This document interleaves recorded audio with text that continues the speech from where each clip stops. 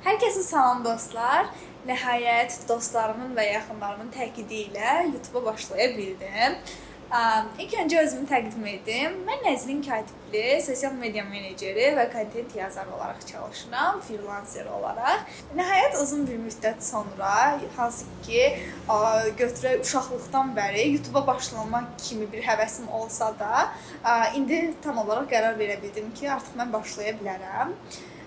Niyə YouTube desək, uşaqlıqdan bəri çox sevirəm YouTube videolarına baxmağı, nə isə etməyi və çox mənə xoş gəlir ki, kimsə kiməsə faydalı ola bilər.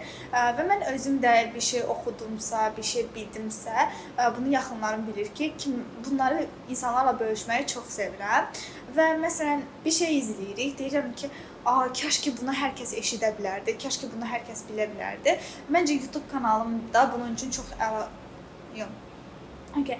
Məncə YouTube kanalında bunun üçün çox əlçatan vasitələrdən biri olacaq. Um, İstədim ki, ilk mövzu olaraq ə, mənə hər zaman gələn ən çox suallardan biri ə, bu könüllü fəaliyyəti və internlərlə bağlıdır, təcrübə proqramları. Ə, mən özüm 10-cu sinifdən bəri könüllüyəm. Əslində mənim sosial həyatım elə həmin dövrdən başlayıb. 10-cu sinifdən 11-ci sinifə keçən yay ərəfəsi idi. Mən elə yaşadığım rayonun Gəncə evində olmuşdum və orada üzv olaraq daha sonra isə könüllü olaraq fəaliyyətimi davam etdirmişdim. Düzdür, məsələn, ola bilər ki, əgər siz abituriyentsizsə ən azı bu şeyləri eşidə bilərsiniz ki, abituriyentin ancaq bu 2 illik dönəmi sosial olmamağı, belə deyək, asosial olmağı, evdə oturub ancaq dərs oxumağı deməkdir. Mən bu fikirlə qətiyyən razılaşmıram və bacardığınız qədər bu yay dan yəni, istifadə etməyi bacarın. Əgər 10-cu sinif və yaxud 11-ci sinifə keçirsinizsə, mütləq şəkildə ə, könüllü proqramlarında olun və gənclər evlərində olun. Ə, bunların həqiqətən də insan üçün olan təsiri böyükdür. Ən azından mənim üçün sosial olmağım üçün çox təsir olmuşdu. Və mən orada Mənə qazandırdıqları çoxdur, itirdiyim amma heç bir şey olmamışdı. Ən əsası müxtəlif layihələrdə iştirak etmişdim. İlk dəfə böyük bir kütlənin qarşısına çıxış edə bilmişdim. Bu da sizin üçün çox önəmli faktorlardan biridir. Daha sonra isə mən 11-ci sinifin qəbul imtahanlarını verəndən sonra mənim üçün könüllü fəaliyyəti ilimdə ən çox sevdiyim yer Bakı Gənclər Mərkəzi olub. Orada könüllü olaraq layihələrin idarə olunması departamentində könüllü olmuşdum olmuşdum. Orada isə yenə dediyim kimi qazandığınız çox şey olur. Düzdür, məsələn, könüllü fəaliyyətini tərifləyəndə ən çox bu şey eləyirlər ki, çoxlu network quracaqsınız. Məncə bu biraz yanlış bir məqamdır. Çünki mənim həmin dövrdən tanıdığım insanlardan bəlkə də yığsaq bir 5 nəfərlə indi əlaqəm var ya yox. Bu yalnız məndə xas olan bir şey deyil. Digər könüllü olan dostlarımda da bu şeyləri sezmişəm ki, yəni network demək deyil orada. Sadəcə siz soft skills-lərinizin üzərində işləyə bilirsiniz ən əsası necə ünsiyyət qura bilərsiniz, komandalarla necə işləyə bilərsiniz. Bu sizin hansı gələcəkdəki iş həyatınızda da mühüm rol oynayır. Daha sonra isə mən Azərbaycan İdman Könüllüləri Assosiasiyasında könüllü olmuşam.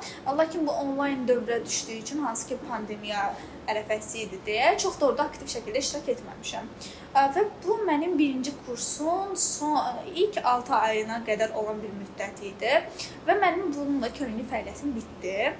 Mən artıq könüllü yox, daha çox iş mühitinə keçmək istirdim və beləliklə intern fəaliyyətim başladı. Təcrübə proqramlarına müraciət etmək kimi bir şey olmamışdı məndə daha doğrusu. Özüm tapmışdım və şirkətlərin birində ə, digital marketing intern kimi başladım və beləliklə mənim intern proqramım da belə başladı. Ə, xüsusilə mənə verilən sual bu idi ki, mən 17 yaşından bunları başladım və mənə elə gəlirdi ki, mən gecikirəm. Düzdür, bu belə deyək də, heç nə üçün gec deyil, amma niyə də tez başlamayasınız? Məsələn, bunun gələcəkdə çox faydalarını görürsüz. Artıq mən 19 yaşım var və mən artıq həm korporativ mühitdə işləmişəm və indi çox rahatlıqla freelance olaraq çalışa bilirəm. Bəlkə də biraz qınaq mövzusu ola bilər ki, a biraz tez başlayın, tez başlayın, ə, gecikirsiniz falan. Mən bunu ətrafıma çox deyirəm. Gecikirsiniz kəlməsini işlətməyin, amma tez başlayın etməlisiniz bunu mütləq şəkildə. Çünki dövr onu tələb edir. Və beləliklə mənim intern fəaliyyətim də belə başladı. Ən çox gələn sual bu idi ki, necə intern proqramlarını tapaq, necə təcrübəçi olaq.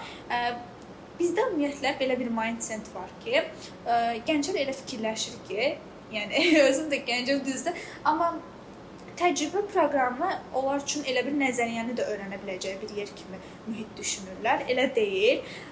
Siz əgər təcrübə proqramına olursunuzsa, mütləq şəkildə nəzəriyyənizi çox yaxşı bilməlisiniz həmin sahə üzrə. Daha sonra, okey, mən nəzəriyyəni bildim, praktika etmək üçün yer axtarıram. Və beləliklə siz intern proqramlarına müraciət edə bilərsiniz. Yox, əgər mən şirkətdən gözləntilərinizi yüksək tutsaz, bu zaman təbii ki, problemlə qarşılaşacaqsınız. İntern proqramları tapmayacaqsınız. Ya da deyəcəksiniz ki, mən getdim intervyuya, mənə dedilər ki, sənin biliyin yoxdur. Axı bu təcrübə proqramı idi.